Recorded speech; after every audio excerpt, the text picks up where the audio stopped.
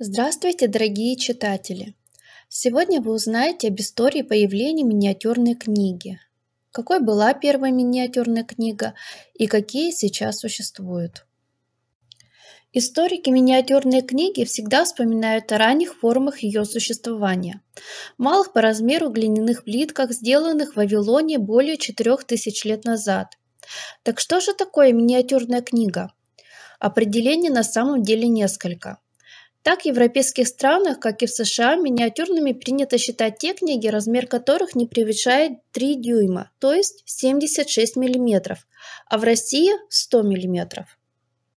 Еще из античной истории известен пример Плиния Старшего. В своей естественной истории в 37 книгах он упомянул эпическую поэму Гомера «Илиада», текст которой из 15 686 стихотворений уместился на небольшом свитке пергамента, помещенном в ореховую скорлупу. В средние века самыми распространенными в Европе рукописными книгами были молитвенники, Библии. В силу своей очень высокой стоимости, так как труд был очень тяжелый и кропотливый, приобрести их могли только состоятельные люди. Многие раскрашенные от руки книги-манускрипты писались по заказу дворян, аристократов, членов королевских семей. В Нью-Йорке в музее Метрополитен хранится часослав, настольная книга Жанны Девре, изготовленная по заказу французского короля Карла IV парижскими мастерами в 1325 по 1328 года. Книга форматом 60 на 90 мм имеет коричневый кожаный переплет с металлическими застежками со строгим, но красивым тиснением золота на крышках и корешке, тройной золотой обрез. На 418 страницах имеются 25 цветных миниатюр, иллюминированных золотом. В Матина-Даране, Ереван, находится рукописная книга размером 30 на 40 мм, датируемая 1434 годом. На 104 листах пергамента писцом Аксеном из города Кафа, Крым, каллиграфическим письмом начертана основа теории календаря. В Мадриде найден часослав Лоренцо Медичи XVI века. Это знаменитый шедевр ренессансской миниатюры, авторами которого считаются отец и сын Джованни. Книга размером 40 на 50 мм, в кожаном переплете с серебряным замком имеет многочисленные миниатюры.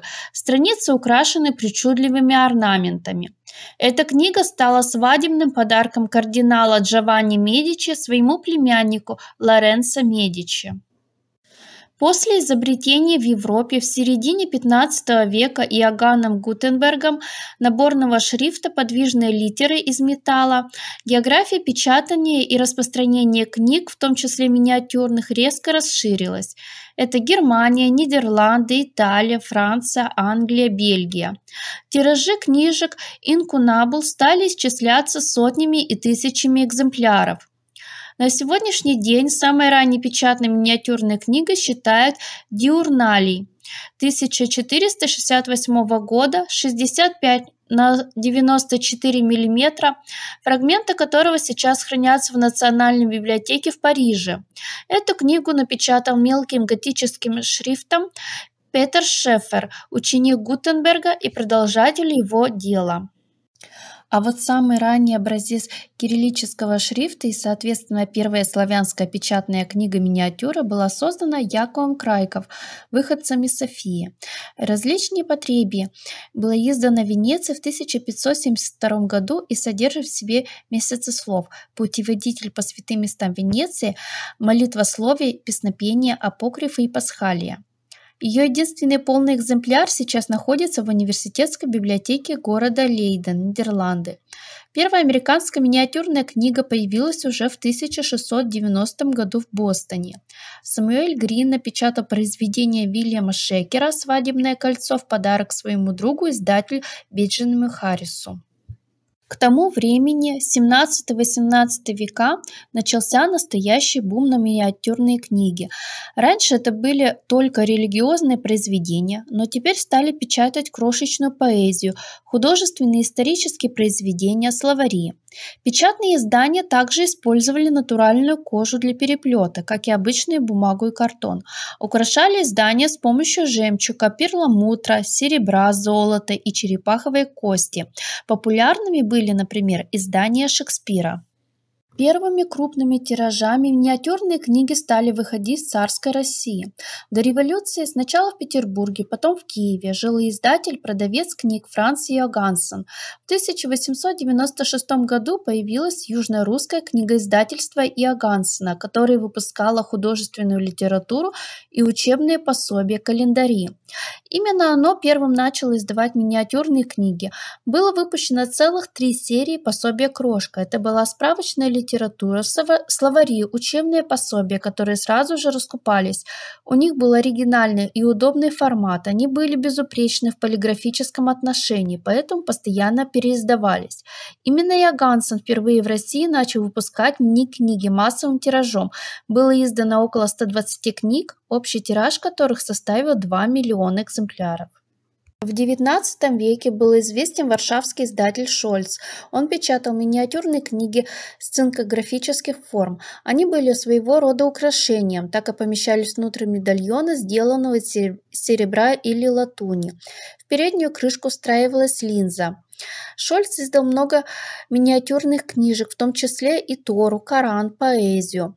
Но до нашего времени дошло не так много экземпляров, так как книги такого размера могли легко затеряться. Большой редкостью является юбилейное издание Пушкина, которое стало самым маленьким из всех выпущенных книг. Оно было напечатано в честь столетия со дня рождения великого поэта. Так же, как и другие книги данного издателя, его Евгений Онегин был помещен медальон секретом, а прочитать его можно было при помощи специальной линзы, помещенной в одной из сторон. Благодаря современным технологиям удалось создать такие книги, о которых раньше не могли мечтать, например, размером 1 мм. Первая такая книга «Рекордсмен» появилась в 1985 году в Шотландии. Не то что прочитать, но и разглядеть ее довольно сложно. Страницы книги вы не сможете перевернуть, если под другой не будет иголки, но и в этом случае нужно быть осторожными, чтобы не повредить крошечные издания. На ее страницах напечатана сказка «Старый король Коул». Владельцев этого уникального издания не так много, так как она была издана скромным тиражом в 90 штук. Одним из рекордсменов в свое время, занесенных в Книгу рекордов Гиннесса, является миниатюрное издание по размерам меньше 1 мм, над ней работали наши соотечественники, Омское издательство, Сибирский левша, специализацией которых является создание миниатюрных книг. В ней напечатали рассказ Чехова «Хамелеон». Создателем считается омский художник Анатолий Каноненко. Издательство выпустило 50 экземпляров на русском языке и столько же на английском. В каждой книге имеется портрет Чехова, 15 листов и две цветные иллюстрации. На каждой страничке книги содержится 11 строчек текста. Один, один из экземпляров можно увидеть в музее миниатюр, расположенном в Праге. Японцы, которые гордятся своими технологиями, решили обогнать россиян и создали книжку чуть меньше по размерам, которая называлась «Цветы четырех сезонов». Ее изготовление заняло более 8 месяцев. На ее страничках изображения всех цветов Японии с подписями, но не цветные, а черно-белые, всего 22 страницы. Разглядеть изображение без специального увеличительного стекла не получится. Для создания книги использовалась технология, которая применяется при создании денег. Есть книги, которые можно прочитать только при помощи микроскопа. Одна из них «Маленький Тед из города Тернип» была напечатана на монокристаллическом кремниевом чипе. Ее можно прочитать только с помощью мощного электронного микроскопа. Эта мини-книга помещается на срезе человеческого волоса.